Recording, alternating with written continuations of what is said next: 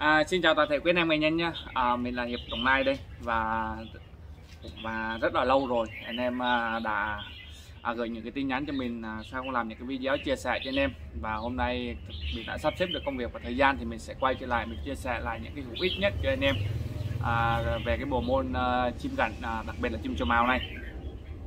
Thì à, bây giờ là đa chim đang bước vào chuẩn bị và có những nơi đã bước vào thời kỳ thay lông nên video này mình sẽ hướng dẫn cho anh em.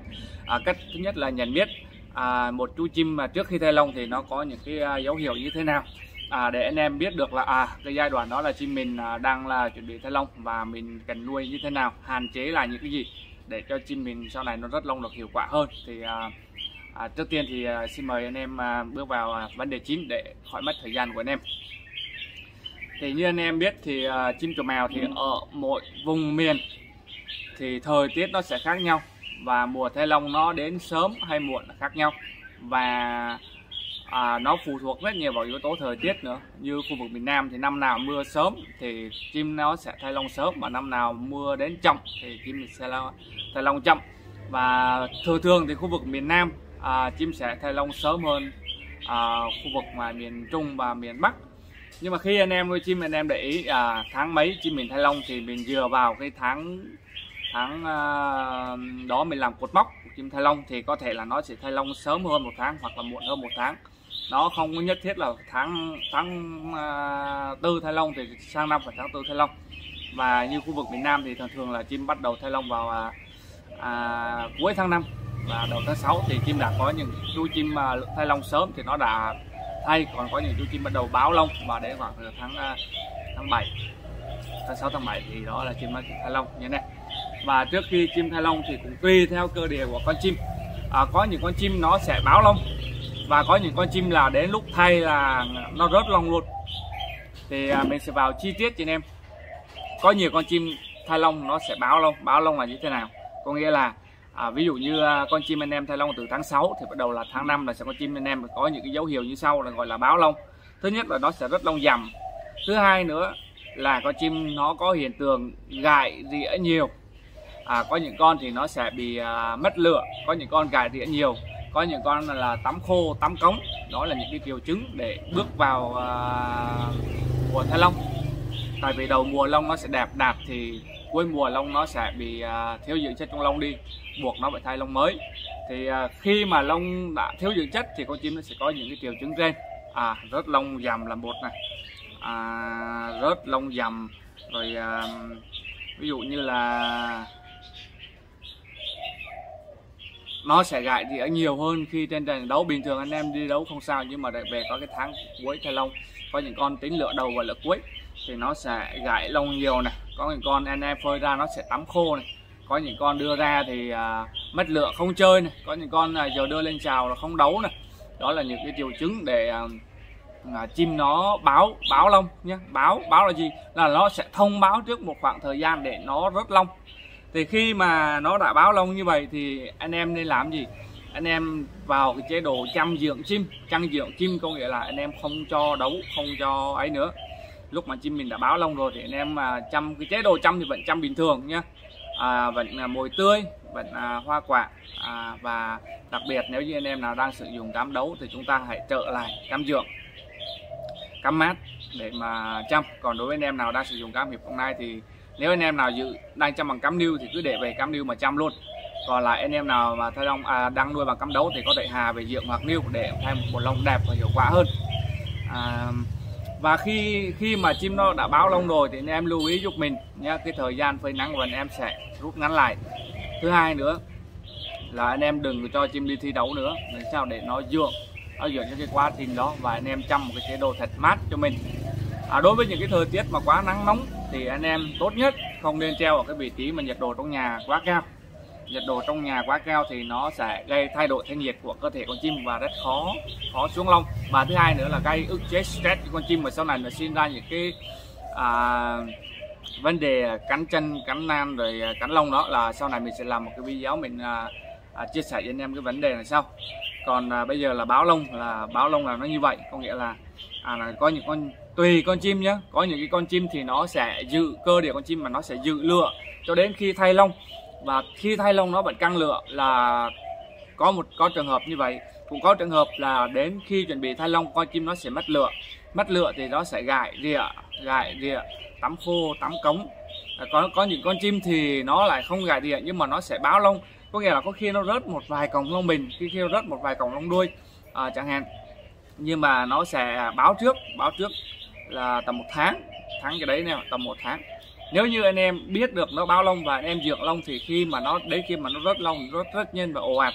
Còn khi mà nó báo lông mà anh em không biết anh em mình cho đấu bình thường thì cái quá trình mà rớt lông nó sẽ chậm à, trì hoãn lại. Và một điều mình muốn lưu ý đến anh em mà trong cái quá trình mà con chim mà nó đã báo lông nữa là anh em nhớ nhớ nhé anh em nhớ là rút ngắn cái cái thời gian phơi nắng lại rồi là không nắng thôi. Đó và không bỏ chim ở cái chỗ quá nóng. Nếu như thời tiết mà quá nóng ở chỗ chỗ anh em mà quá nóng đi thì chúng ta sẽ có một cái giải pháp là cân bằng nhiệt của cái môi trường nuôi. À, ví dụ như cái căn phòng mà anh em nuôi chim nó quá nóng thì anh em múc mấy chậu nước ấy, chầu chầu chầu chầu anh em bỏ dưới dưới sàn đấy để cái gì? Để nó cân cân bằng nhiệt lại bên trong cái căn phòng đó à, là con chim nó sẽ xuống lông đẹp hơn và thứ hai nữa là không không bỏ chim vào cái môi trường mà nó quá tối nhé. Cái cái, cái, à, cái không gian đó, nó quá tối thì nó cũng không có tốt nó gây ra ức ức chế con chim. Và stress con chim sau này sẽ bị cắn lông ấy sau này mình cũng sẽ làm video đó. Cho anh em.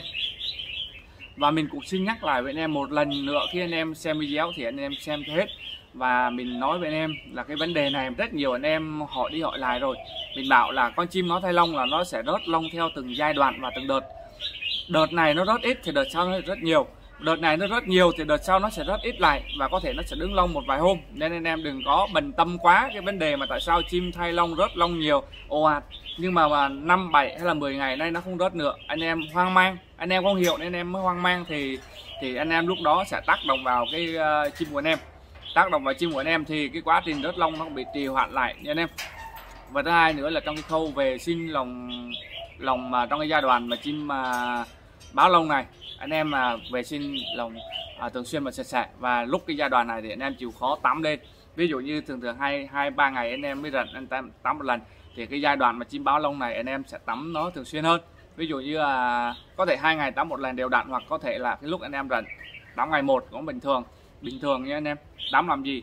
Mục đích giúp hà thân nhiệt của con chim xuống và nó sẽ bung được chân lông ra lúc đó nó sẽ rất lông. Là rất lông rất đẹp và sạch sẽ không tránh cái tình trạng lông hai lớp nha anh em. Thì báo lông là nó chỉ như vậy thôi.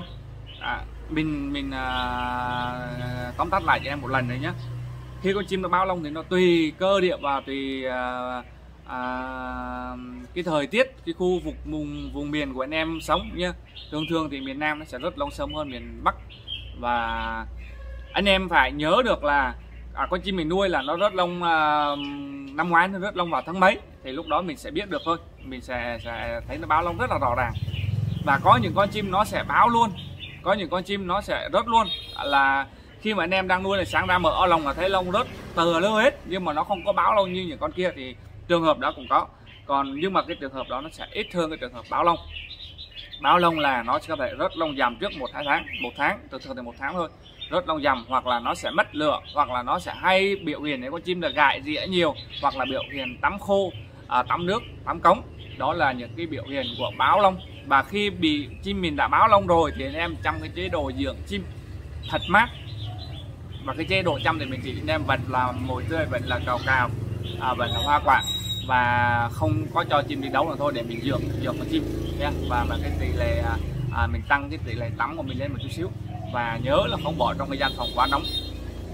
Cái gian phòng mà anh em bỏ trong nhà nhưng mà cái thời tiết ở cái khu vực của anh em á, nó bị nóng chẳng hạn đi thì anh em lưu ý giúp mình là đừng có để vào cái chỗ nóng là giúp à, cái thân nhiệt của con chim nó càng à, cái à, cái nhiệt độ bên ngoài nó càng cao hơn cái thân nhiệt của con chim nữa thì lúc đó rất là khó xuống lông à, mình chỉ cần nắm bắt được từng đó thôi thì mình đã biết được là à con chim mình. Ôi trời mình chỉ cần nắm bắt được từ đó thôi thì mình sẽ biết được là à con chim của mình nó đã báo lông rồi và mình biết cách dừng ngang khúc đó. Và ừ, hôm nay là mình sẽ chia sẻ cho anh em trong vòng 10 phút để cái vấn đề mà chim báo lông này thôi. Thì khi mà anh em nắm bước được cái báo lông rồi thì à, một tháng tầm vài hôm nữa mình sẽ làm tiếp cái video hướng dẫn cho anh em cách chăm lông kim làm sao nó hiệu quả và chi tiết à, từng từng giai đoạn của chim khi nó rớt lông để cho anh em cho ăn cái gì à, chăm như nào để được cái bộ lông như mình. Và anh em mình nói luôn mình làm video thì mình đã chia sẻ cho anh em mình không không phải là là thầy bà mình đi đi trước thì mình có cái kinh nghiệm mình chia sẻ lại cho anh em. Nhưng mà anh em là xem văn hóa thì xem còn không xem nữa anh em lướt qua cho đừng có vào comment những cái lời nói mà nó khó nghe à, tại vì mình cũng không ăn một đồng lương nào của anh em cả.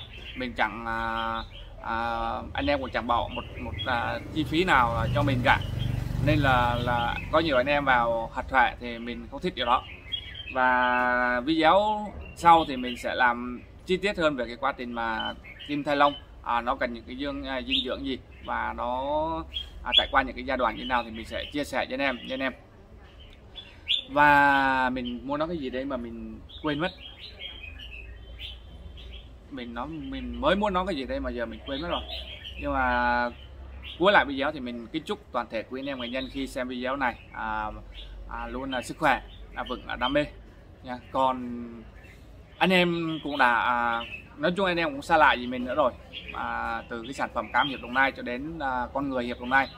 Và khi à, đi ra ngoài à, các cái đấu trường lớn để thi đấu hoặc là những cái à, cái giải nhỏ cũng được. Cái nào mà mình dẫn cái nào thì mình chơi cái đó thì mình cũng quan trọng lắm nhưng mà mình thường ít đi giải nhỏ. Và các con chú chim mình thay lông như thế nào thì mùa trước anh em cũng đã đã chứng kiến à, đã xem qua à, những cái chiến binh của mình thay lông như thế nào. Tại sao mình thay lông được? Nó đẹp như chim rừng mà có thể gọi là nó đẹp hơn luôn tại vì sao mình chăm được như vậy? Tại vì cái quá trình mình chăm mình tìm hiểu. Và khi mình đã tìm hiểu được mình đã biết được cái đó rồi mình mới chia sẻ lại cho anh em chứ không phải là lên trên google hay là cái gì để mà mấy cái cái những cái gì mình làm đây là nó thực tế. Mình đi thi chim mình à lấy giải thì mình biết được cái kinh nghiệm trong chim lấy giải như nào mình mới chỉ cho anh em.